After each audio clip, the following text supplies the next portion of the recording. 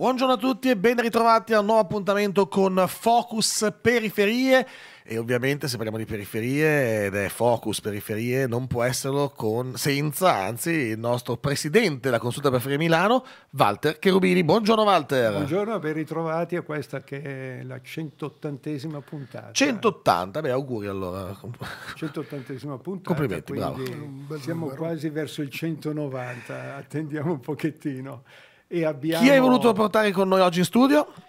Allora, abbiamo un, uh, un rappresentante di, di, punta, perché è il presidente delle, di una delle istituzioni locali, e il Municipio 5 in particolare, che tanto per avere un'idea si trova in quello che noi abbiamo il cuore di Gratosoglio, andando fino a, a Rozzano. Quindi eh, un'area sicuramente interessante e importante dal punto di vista della città e che come il resto della, de, della città è interessato sicuramente dalla necessità di interventi di valorizzazione ma soprattutto di gestione di quello che è l'esistente. Beh, allora diamo il benvenuto a Natale Carapellese, presidente del Municipio 9. Buongiorno, presidente. Buongiorno, buongiorno, a tutti. 5, perché ho detto 9. Mi è venuto 9 così, insomma, abbiamo detto 5, 5, 5, me lo sono anche scritto, ho detto Siamo 9. Siamo partiti so da perché. sud a nord, ma... Infatti non c'entra niente,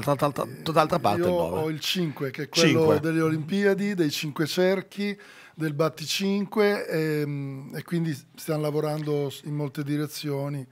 È un municipio centrale. È lo spicchio, lo spicchio sud. Perché adesso veramente lì c'è tanto. Romana, eh. Abbiamo il villaggio olimpico che sta crescendo rapidamente. Ci siamo presi questa ambizione di avviare un percorso di riconoscimento UNESCO per l'area di Chiaravalle e devo dire grazie anche al sindaco e alla giunta che hanno condiviso con noi questa scelta e siamo proprio alla fase iniziale, entro dicembre verrà stilato un dossier, un piano di prefattibilità.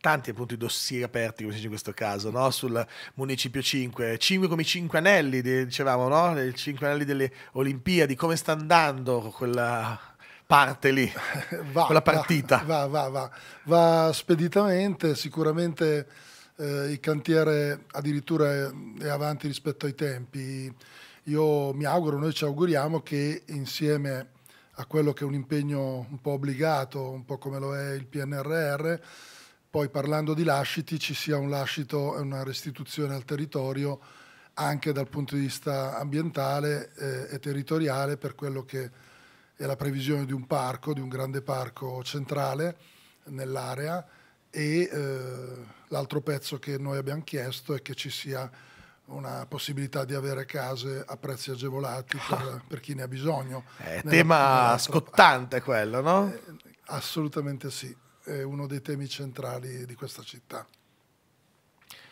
Dimmi Walter, vedo che vuoi intervenire, di pure, prego. Sai che tu qua hai libertà di entrata quando vuoi, siccome come era il mediano, no? che puoi entrare tranquillamente per difendere la porta. No, ci sono due aspetti. Uno che è la città in, dell'innovazione. Ah, giusto.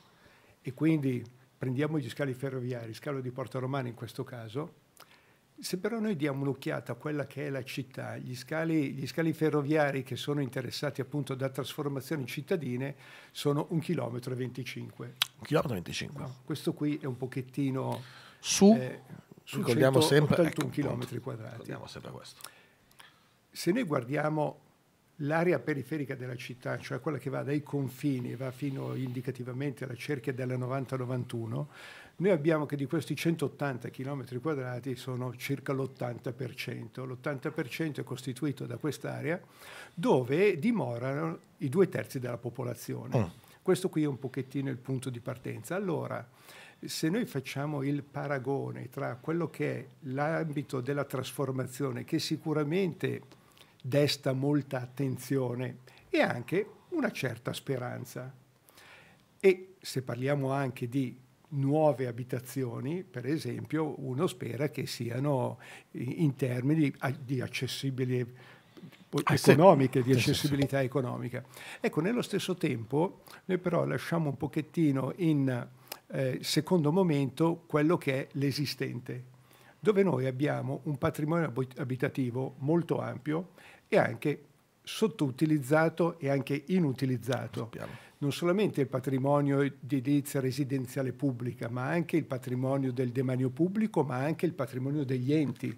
Eh, c'era il Pio Albergo Trivulzio, eh, che mi sembra abbia qualcosa come 1400 appartamenti, di cui 400 non, non utilizzati. Quindi eh, percentuali anche piuttosto significative che trovano una loro corrispondenza questo utilizzo anche in un vuoto e in un vuoto anche umano, perché quando noi teniamo qualsiasi cosa vuota, può essere un negozio, può essere un'abitazione, è chiaro che c'è qualcosa che non funziona da un certo punto di vista. Allora, quando ci sono eh, gli aspetti gestionali normali, perché uno può cambiare casa, eccetera, ma quando sono strutturali, diventano un problema di organizzazione, di gestione organizzativa. Ecco, questo è un pochettino il, il punto fondamentale dove Milano è sicuramente ricca di progetti, innovazioni, però poi quando si va ai processi organizzativi si segna il passo. Il tema del decentramento eh. è sicuramente uno dei temi organizzativi. Però hai detto una cosa interessante, mi ha parlato dell'esistente, no? del, del, del, delle case popolari, dell'ERP, no? eh, residenziale pubblico che al momento magari è inutilizzato, sottoutilizzato e tutto voi municipi però non avete voce in capitolo su questo, o sbaglio? Ad esempio, parlando di decentramento. Eh, abbiamo veramente poca voce in capitolo. Eh, io potrei partire facendo quella che è una mia suggestione. Sì. Eh, parliamo di città metropolitana che comunque è uno strumento incompiuto, diciamo, o comunque monco, perché con l'eliminazione e il superamento delle province si è creata mh, questa organizzazione denominata città metropolitana che però ha eh, una doppia eh, percorribilità. Ci sono i comuni dell'Interland che sono dei comuni a tutti gli effetti, ci sono i municipi della città di Milano che sono eh, giustamente delle di, mh, emanazioni del comune centrale, ma eh, a mio avviso bisognerebbe in prospettiva eh, guardarle in una logica più equilibrata, eh, guardando un po' ad altre grandi città europee. Uh-huh. Eh, quindi dal punto di vista amministrativo io concordo molto sulla gradualità. Eh, che però si cominci non fra 10 o 20 eh, anni. Anche perché cominci... il decentramento, se non ricordo male, è un'idea della notte dei tempi, una bellissima idea, ma della notte dei tempi. Il primo regolamento, Walter, quando risale la prima idea di decentramento delle zone di Milano, delle 20 diciamo zone. Che l'introduzione delle eh. 20 zone è legato al 1968-69. Eh, no, quindi si parte da questo. Dopodiché tanto per dare l'idea anche dell'evoluzione, sì, sì, sì. non è che non ci sia mai stato niente, no. perché 1977 c'è un regolamento del funzionamento degli allora consigli di zona. Un regolamento che se andiamo a ritroso a vederlo era anche un regolamento che derivava da una concezione de gest della gestione del territorio e quindi c'era. Qual è stato il problema di questo regolamento del 77? Che è rimasto sostanzialmente lettera morta per vent'anni. Ed è rimasto lettera morta per vent'anni perché? Perché nel 1997 fu sostituito da un nuovo regolamento, peraltro un pochettino più restrittivo. Ma che fine ha fatto anche il regolamento del 1997? Rimasto sostanzialmente a lettera morta per 19 anni, fino a quando? Fino al nuovo regolamento dei municipi. Regolamento dei municipi che venne fatto proprio legandolo non a c'è la necessità di dare una risposta al territorio del municipio e quindi facciamo un regolamento che ne sia la risposta. Il tema era legato invece a quello che era l'elezione diretta del sindaco della città metropolitana. Secondo la riforma del Rio, se non si fosse cambiato l'assetto istituzionale, anche se possiamo dire oggi dal punto di vista formale più che sostanziale, non ci sarebbe stato questo passaggio. Quindi noi ci troviamo a fare ragionamenti regolamentari sulle necessità del territorio, mutuando da altre necessità. È chiaro che poi la risposta non c'è, questa qui è una conseguenza normale. Il, e se c'è stato un blocco di, di questi tre regolamenti, perché quello dei municipi è del 2016, quindi siamo già nel 2024, tutto sommato non Qualche sono passati alcuni mesi. no? Ecco, c'è una stratificazione, diciamo così, politico-burocratica che nei fatti blocca le vicende e questo va a deperimento proprio anche di fatto di cose che ci sono sul territorio. E che però si possa fare la prova c'è perché invece qualcosa qualcosina pian pianino cambia no? so che insomma eh, forse finalmente la giunta sta cominciando a capire il comune sta cominciando a capire e qualcosa arriva forse anche perché insomma siamo tutti dello stesso colore a questo giro avete fatto sentire molto la vostra voce voi presidenti Sì, di municipio giusto? C'è un impegno assunto col sindaco Sala, con l'assessora Gaia Romani, eh, di andare a rivedere migliorandolo e, come dire, rendendolo un po' più eh, stringente, più esigibile in alcuni articoli quello che è il regolamento dei municipi. Faccio un esempio, i vecchi consigli di zona addirittura avevano più voce in capitolo di oggi sulle materie, faccio un esempio, l'urbanistica. Eh, No, non tocchiamo quel tasto anzi poi lo toccheremo magari Noi però, al di là di questo, riteniamo che sul verde, su tutta una- sulla mobilità, su tutta una serie di questioni che ci investono direttamente perché il sottoscritto, come gli altri presidenti, riceve centinaia di mail e di messaggi ogni giorno eh, per il semplice fatto che siamo l'istituzione più prossima, più vicina. Eh, comunque i cittadini ci vedono come interlocutori e in molti casi anche come responsabili, salvo poi eh, avere poca voce in capitolo. Ecco. L'impegno assunto è quello non tra qualche anno, ma in questa fase, in questo momento, di andare a rivedere alcuni articoli rendendoli in qualche modo più scorrevoli, più a nostro punto di vista esigibili. Quando ho un presidente del municipio in studio non posso non chiedergli quali sono i temi su cui devo per forza farla parlare perché so che se no dopo mi scrivono tutti i suoi abitanti del, del municipio dicendo ah però non gli ha fatto questa domanda. Quindi lo dico direttamente al presidente di cosa vorrebbero i cittadini chiederle in questo momento? Sicuramente così se, così se poi sbaglia risposta sbaglia- anzi se sbaglia a farsi la domanda è colpa sua eh, io- Dico due cose essenzialmente, casa, anche perché sennò rischiamo di stare qua tutta la mattina, casa e mobilità, eh, per dirne due. Poi ci sarebbe anche il verde e l'ambiente, ma eh, fermiamoci alla casa e, e alla mobilità. dimmi Walter Ma c'è un tema no, che eh, da Palazzo Marino le periferie non si governano.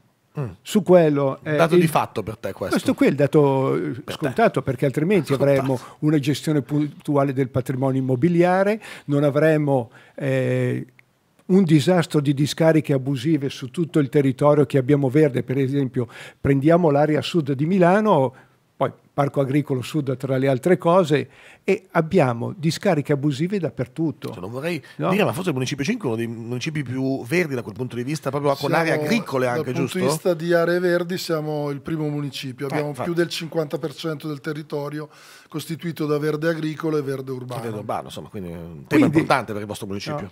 Quindi quando noi abbiamo, eh, un- ecco, la percezione che abbiamo dell'area periferica della città, che è una eh, condizione piuttosto articolata, perché noi andiamo da antichi borghi millenari come Chiaravalle, andiamo a nuovi quartieri come, nuovi tra virgolette recenti, eh, come il Gratosoglio, Eh, oppure abbiamo aree agricole, ma abbiamo anche parchi. Allora abbiamo una composizione che è abbastanza poliedrica e nello stesso tempo è anche un arricchimento della città. Avere, l'abbiamo visto anche con la pandemia, il fatto di avere spazi verdi eccetera è una cosa piuttosto interessante rispetto magari a vivere in centro no? quattro mura cittadine e poi dove vado. Ecco, invece sicuramente questo qui è un patrimonio di tutta la città. Il problema di fondo è che da Palazzo Marino questo ma è, è strutturalmente, non è una, una colpa del singolo che c'è sindaco piuttosto che un altro. Il problema è che proprio strutturalmente eh, è difficoltoso per una persona gestire una complessità molto ampia e infatti non viene gestita. Ma è stato per questo che eh, noi siamo partiti con il centenario degli antichi comuni che hanno stravolto completamente l'organizzazione amministrativa del territorio che oggi si chiama Milano, in particolare nel 1923 con l'aggregazione degli undici comuni contermini, che Tra cui avevano... Chiaravalle. Ad esempio, no? Tra cui Chiaravalle, per esempio, no? piuttosto, ah, Vigentino, piuttosto cioè, che Vigentino per stare ben nell'area due, del, ben due di questi 11 del, municipio, del 5. municipio 5. Allora, qual era la caratteristica organizzativa? È che avevano un sindaco, una giunta che si occupava prioritariamente di quel territorio. Ma no, aspetta un attimo, uh, ti chiedo questo, lo chiedo al Presidente. Voi potreste essere il sindaco del, del, municipio, voi potreste essere appunto i sindaci del municipio, la giunta del municipio? Formalmente noi siamo eletti a suffragio universale dai cittadini esattamente come il sindaco della città di Milano. Okay. Poi il sindaco della città di Milano è contestualmente anche, anche. della città metropolitana e però c'è questa divaricazione, disparità che eh, a mio avviso andrebbe colmata nell'interesse di Milano, nell'interesse dei milanesi, perché se io vado fuori a Rozzano, ad Assago, per citare due esempi che sì. eh, citava Walter, eh, negli anni è diminuito quel divario che c'era tra la grande Milano e questi comuni. Chiaro. Oggi Rozzano non è più quello che si diceva un tempo è un bel comune dell'Interland, ben gestito, ben amministrato. Eh beh, dico io, se, senza prendere quello direbbe nonostante Fedez, no, ultimamente dice questo, no scherzo. Però al di là di questo, sicuramente poi le, i cittadini che guardano le piccole cose vedono le differenze eh, sotto tutti i punti di vista, no? E quando tu hai problemi sui trasporti, hai problemi sulla raccolta rifiuti, hai problemi su, sugli abbandoni, su tutta una serie di cose per guardare le cose che interessano i cittadini, sì. eh, questo poi si riflette nel complesso. Ma ecco, noi formalmente siamo. Ecco, ma se abbiamo capito che il sindaco ce l'abbiamo, gli assessori ce l'avremmo, come facciamo però a livello degli uffici, ad esempio, Walter? Cioè, quello è un tema che spesso si dice fuori, però, eh, ma no, non hai il personale, non, non, non hai il personale, il comune ha il suo personale, i municipi non hanno il loro personale. Come, tu hai un'idea, vero, forse? Se non mi ricordo male. Ma innanzitutto partiamo dallo stato di fatto. Noi abbiamo sul territorio decine di funzioni comunali presenti sul territorio e che operano sul territorio, che possono andare dalle scuole materne, dall'anagrafe, dai servizi sociali comunali, eccetera, eccetera. Abbiamo anche le guardie ecologiche volontarie, sì. abbiamo la polizia locale, cioè stiamo parlando di l'un per l'altro un migliaio di persone che tutte le mattine cosa fanno? Vanno a lavorare a servizio di quel pezzo del territorio, okay. di quel territorio. Questo qui è il punto. Quindi il municipio ha, non ha il personale? Come? Ha tantissime funzioni, come? Anzi, è molto di più di quello che può avere un corrispondente comune limitrofo a Milano perché sicuramente okay. ha molti dipendenti in più. Quindi, diciamo, Rozzano non ha quei dipendenti quindi, lì, ecco. quindi non problema... sono le dirette dipendenze, ma sì, operano, sì, chiaro, chiaro, operano chiaro. nel territorio. Ah, quindi non c'è il personale?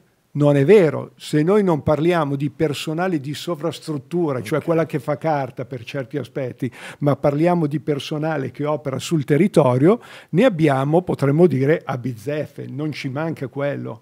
Il tema di fondo è esattamente questo scollamento esistente, per cui noi abbiamo eh, da questo punto di vista una, una breve citazione. Da dove? Da dove? Eh, Cos'è quel libricino? Questo qui è il governo della città complessa, che ah, è un ah, lavoro okay. che ha fatto la Fondazione Dio Guardi non solo, perché c'è eh, un'iniziativa che è la City School per il governo della città complessa e delle sue periferie, eh, che è fatto con l'Associazione Nazionale dei Comuni d'Italia, il, ma a Milano è con il Politecnico di Milano, con il Comune di Milano, la città metropolitana di Milano. Quindi ci sono a livello embrionale anche operativo alcune idee che si muovono. Il problema è che queste idee che si muovono devono diventare fatti concreti e processi organizzativi. Allora, processi organizzativi, qual è lo stato dell'arte? Qui richiamiamo quello che ha scritto Alessandro Balducci, che è stato prorettore del Politecnico di Milano, ma anche per un breve periodo, però significativo, assessore all'urbanistica del Comune di Milano. Okay. E, e quindi ha potuto guardare da una parte come studioso, ma da un'altra parte anche come parte attiva, qual è il sistema esistente organizzativo. E dice, l'attrezzatura culturale e tecnica di chi amministra le città è rimasta la stessa, con le sue settorialità, con le sue piante organiche, le sue strutture formate da competenze separate. Allora, noi abbiamo eh, molto spesso diciamo bisogna fare sistema, bisogna agire assieme. Sinergia, ecco, sinergia si usa spesso no, adesso. La, la, fotografia che fa Balducci è esattamente il contrario. Allora, dobbiamo farcene un attimino una ragione di questa situazione qui, perché o continuiamo a mantenere queste strutture separate, da questo punto di vista siamo evangelici, non sappia la tua destra quello che fa la tua sinistra. Ecco, però così non funziona e si vedono tutte le scoperture, ma soprattutto manca l'utilizzo delle risorse esistenti. Noi abbiamo tante risorse che sono di persone, eh, persone che operano nelle istituzioni piuttosto che persone che operano nella città sociale, che però eh, fanno iniziativa che vale per la città, non solamente per il proprio io, punto e basta, ma ci sono tanti eh, che, che fanno questo tipo di lavoro. Allora, tutte queste energie possono essere utilizzate se facciamo che cosa? Eh, ho qui un altro, eh, un'altra pubblicazione che non è proprio recente, no, sembrerebbe è, vederla è, del mille, è del 1975, ah, okay. però delle volte le pubblicazioni fatte vicino a determinati momenti, mm. questo in particolare si parla di un'esperienza di decentramento urbano, ah. no? fatto dall'allora vice sindaco del, del, comune di Milano, nonché era stato assessore al decentramento Andrea Borruso, che configura e dà un'indicazione di quelli che dovevano essere i consigli di zona, che sono okay. gli attuali municipi. Che cosa scriveva in estrema sintesi? Che i consigli di zona no, prefigura il governo urbano come un sistema politico policentrico. Quando noi parliamo di città policentrica, non possiamo avere la città policentrica se non abbiamo un'amministrazione altrettanto policentrica. Altrimenti non è una città policentrica, sono tanti funghi che vengono fuori, ma che hanno energia dalla loro capacità e chi è debole e chi è debole se ne fa una ragione rimane debole. Vedo il Presidente annuire ed essere d'accordo. Assolutamente sì, è una grande verità quella che ha appena letto Walter. E partiamo da un fatto, mm, ci sono i municipi disegnati sulla carta, eh, questa operazione fu fatta durante la giunta Albertini, furono istituiti, poi l'elezione a suffragio universale del 2016 e l'ultimo regolamento del 2016. Ma ancora oggi noi abbiamo una geografia molto eh, differenziata, se guardiamo per esempio le forze dell'ordine, i comandi della Polizia di Stato, dei Carabinieri, eh, della Polizia Locale, eh, non sempre coincidono. Cioè, differiscono, so, differiscono a volte sono a scavalco tra un municipio e l'altro. Vabbè, c'è un municipio che magari ne ha due eh, e l'altro municipio esatto. che ne ha. Quindi c'è un disegno che va avanti anche lì parallelamente e credo che sia ormai eh, maturo nei tempi perché eh, Polizia di Stato ha dei commissariati corrispondenti esattamente ai municipi. Questo farebbe risparmiare risorse, avere maggiori uomini a disposizione e eh, poter essere più incisivi eh, di quanto lo sia attualmente. Eh, polizia locale, c'è un investimento notevole da parte del comune con delle assunzioni importanti di centinaia di vigili urbani nuovi che a regime saranno 350 in più rispetto alla pianta organica. Eh, noi dagli impegni presi eh, con eh, l'assessore Granelli, con l'ex prefetto Gabrielli, e col sindaco stesso ci aspettiamo eh, a breve, parlo entro fine anno, un incremento e un rafforzamento della presenza sul territorio. Questo per noi è importante, è solo un esempio, ma si potrebbe eh, proseguire e continuare un po' su tutte le varie eh, argomentazioni e tematiche, però è così. Mi sta dando speranza Carapellese, però mi dà speranza che forse qualcosa davvero si muove, qualcosa può cambiare? N- noi eh, non la perdiamo mai, il sottoscritto la speranza non la perde mai eh, fino all'ultimo giorno di mandato noi faremo il nostro dovere. Sono fiducioso che quello che ho appena detto verrà concretizzato entro fine anno. A proposito di mandato, siete a metà praticamente del secondo sì, mandato, abbiamo giusto? Superato appena superato, avete scollinato. scollinato. No? Secondo mandato per il no, no, Presidente, il no, il primo per mandato me, per, il Presidente Capellese. Eh, come sta andando? Come anzi, come è andata, come sta andando e come potrà andare? Com'è andata? Si lavora tantissimo, non sembra magari percepito da, da tutti, ma comunque si lavora quotidianamente, eh, gli impegni sono molti eh, però c'è anche tanta soddisfazione. Io passo molto del mio tempo con i cittadini, eh, li ricevo, li incontro, oltre a fare le riunioni in call, adesso va di moda, dopo il, dopo il Covid si fa tutto online, si fa tutto a distanza, però ehm, questo permette di lavorare ancora di più e di contattare ancora molte più persone. C'è qualcosa che voleva fare da Presidente che non è ancora riuscito a fare, ma che pensa di riuscire a fare entro la fine del mandato? Allora, cosa ce ne sono diverse di cose non ancora realizzate. Eh, io ne vorrei realizzare un paio che è la riqualificazione dei mercati comunali di eh, Via Montegani Nera e di Gratosoglio, perché a mio avviso da quella riqualificazione può ripartire una vitalità della via e del quartiere che restituisce poi dinamicità ai commercianti, a tutti coloro che la vivono e la abitano, perché eh, il problema è che fermarsi all'esistente e non modificare nulla dà più spazio alla criminalità, ai delinquenti, a tutto quello che non ci vuole e che ha prodotto poi ultimamente il risultato di un omicidio non più tardi di pochi giorni fa, proprio in via Cervenate. Chiarissimo, bene. allora a meno di 24 mesi per riuscire a farcela, le facciamo tanti auguri, va bene. Walter, sta arrivando un weekend eh, importante, giusto? Ma un weekend importante diciamo che li abbiamo fatti, giusto? poi ce ne sono tutti i giorni. Mi interessava però riprendere un argomento per rilanciare questo lascito sì. di questo centenario. Allora, i municipi hanno gli assessori. Sì. I comuni limitrofi hanno gli assessori. assessori. Qual è la differenza di agibilità che hanno gli assessori dei municipi cittadini e quelli esterni?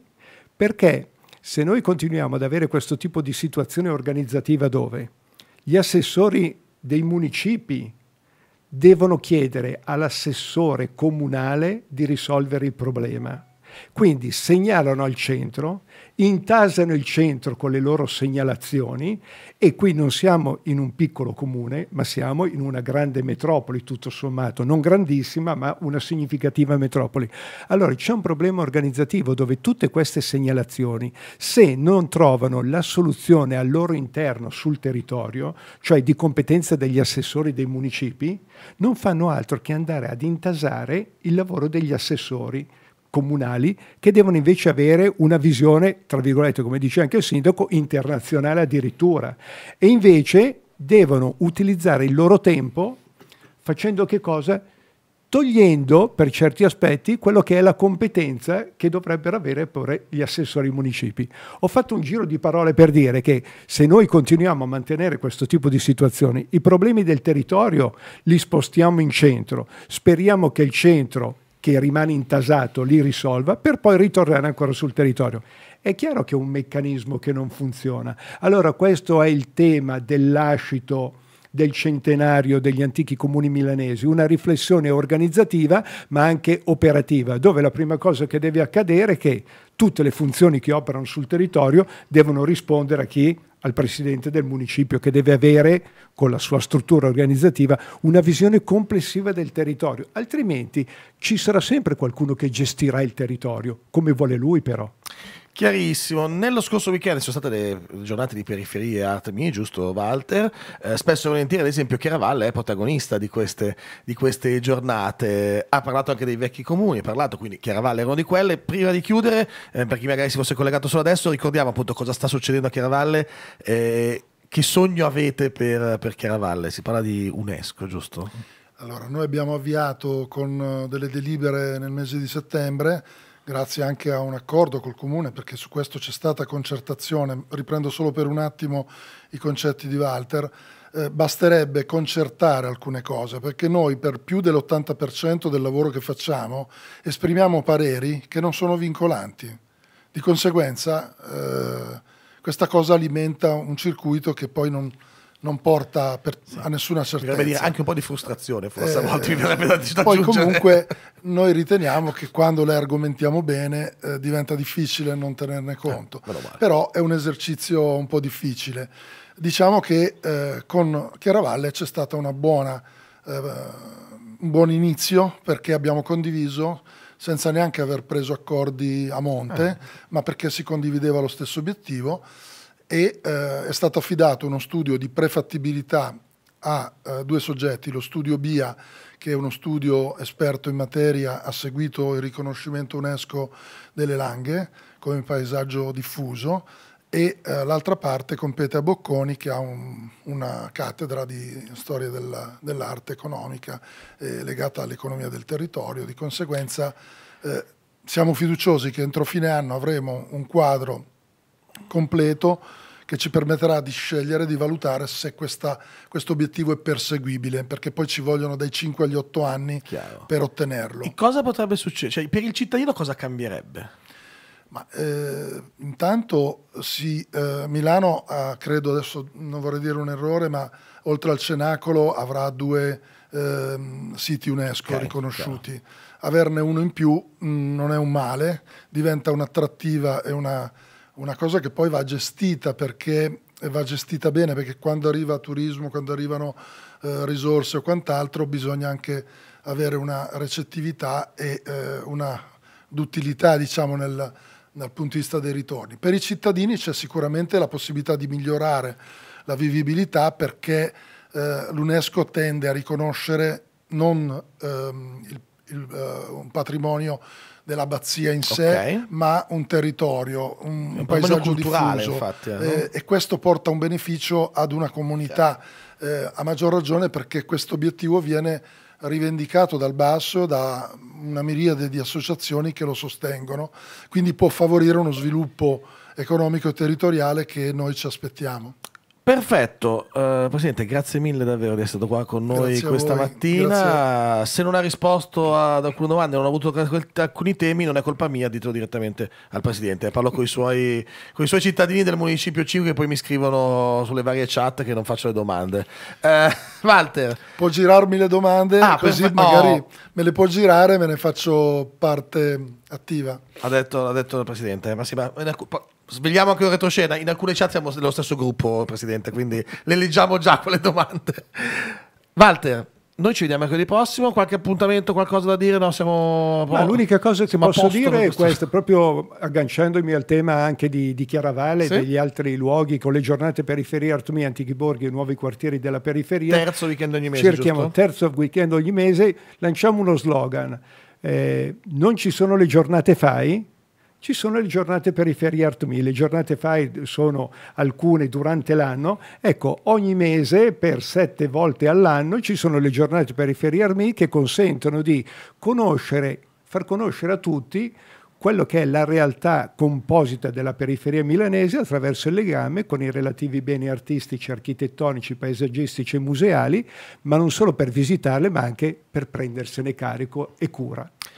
Grazie mille Walter, noi ci vediamo quindi mercoledì prossimo con eh, un'altra puntata di Fox Periferie.